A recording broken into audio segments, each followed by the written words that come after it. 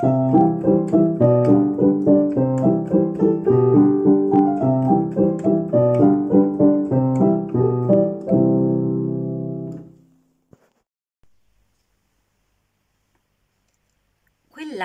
il 4 novembre cadeva di lunedì.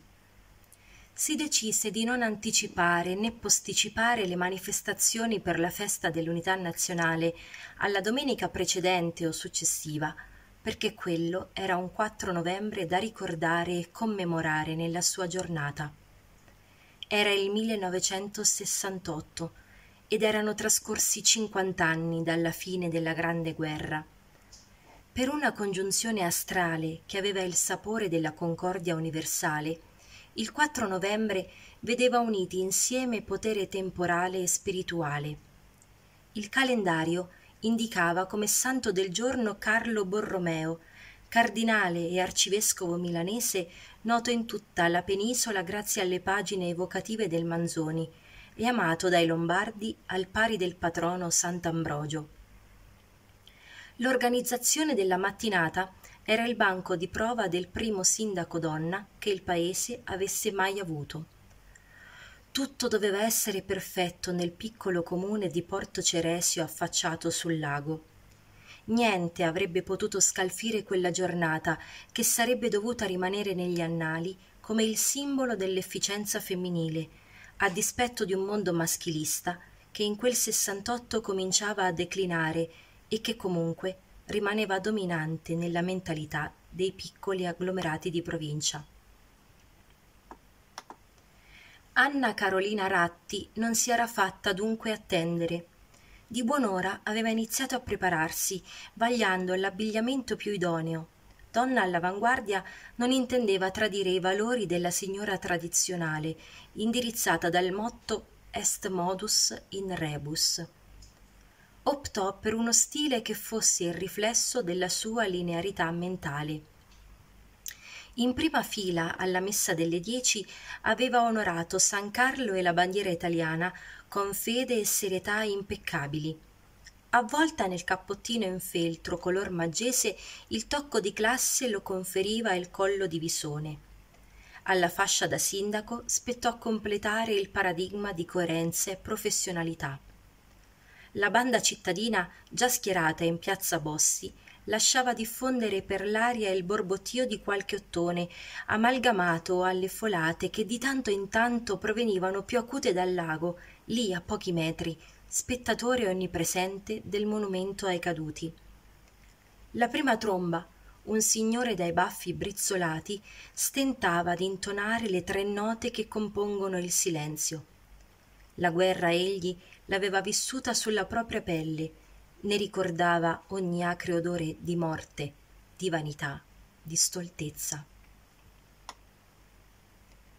A poche centinaia di metri dalla piazza l'orologio della torre svettante che da decenni immortalava Porto Ceresio in ogni cartolina turistica aprì l'evento con i suoi undici rintocchi portati dal vento.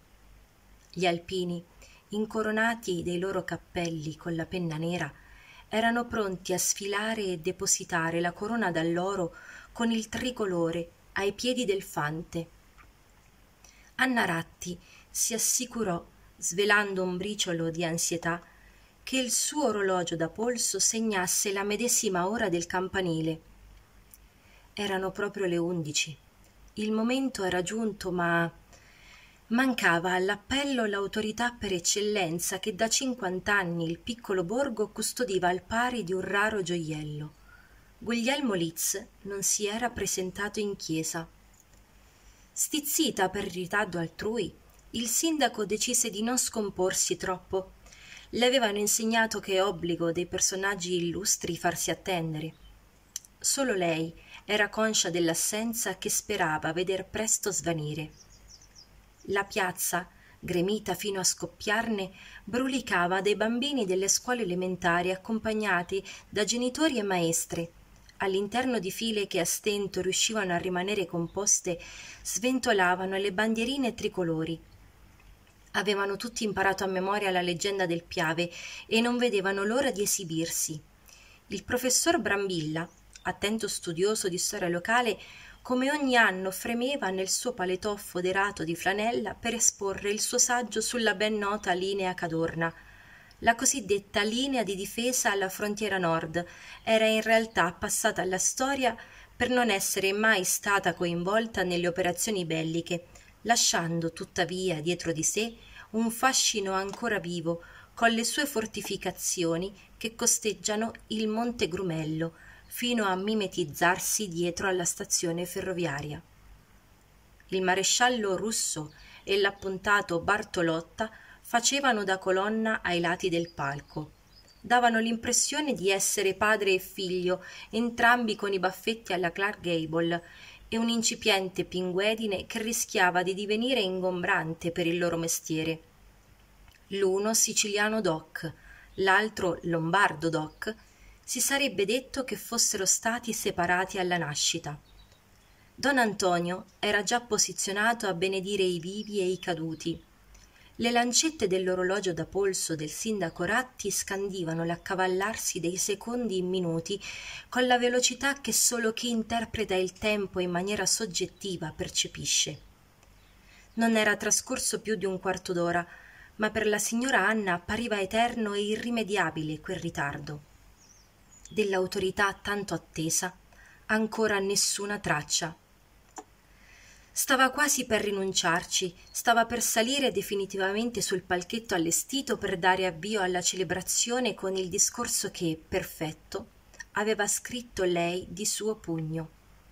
Avrebbe iniziato con il dire che ricordare è giusto, è un dovere etico e civile, è giusto onorare, ma ancor più giusto essere coscienti, attraverso l'educazione, che la storia non dovrebbe soltanto glorificare in nome di una vittoria la guerra, ma dovrebbe metterne in luce soprattutto l'orrore affinché armarsi possa non essere mai contemplato tra le decisioni di cui dispone l'essere umano.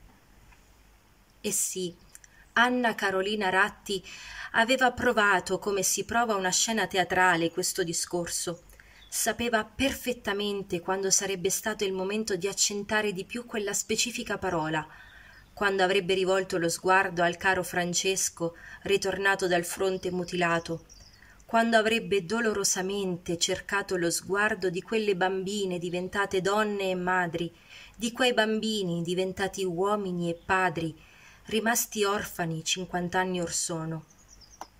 Sarebbe accaduto un istante prima di quando avrebbe attirato l'attenzione di quei giovani fanciulli con le bandierine festose a cui avrebbe voluto lasciare in eredità l'auspicio di un mondo senza guerre. Era ormai decisa Anna Carolina Ratti ad iniziare. Un'ultima sferzata proveniente dal lago di un verno novembrino decisamente presago d'inverno, le fece d'improvviso volare via il cappello con le larghe falde intonate al cappottino. Come rapiti dal volo di un uccello mai visto, tutti volsero i nasi all'insù, godendo della danza che le folate ballavano insieme al cappello. Fu in quel momento che dal fondo della piazza si udirono strida concitate affannato correva per di fiato Angelo il pescatore e urlava urlava e piangeva piangeva e urlava non si riusciva a decifrare bene cosa. Tra i sibili del vento i soffi degli ottoni il vociare allegro dei bambini e il parlottare più contenuto degli adulti. Sconcertati e increduli per istinto tutti i presenti si accalcarono creando una sorta di corridoio in cui l'uomo potesse addentrarsi. Il passaggio lo condusse ai piedi del piccolo palco. Stremato dalla corsa, Angelo si accasciò, quasi inginocchiandosi al cospetto del sindaco, e dopo un frammento di riposo, con un filo di voce disse L'hanno trovato, morto, al lago.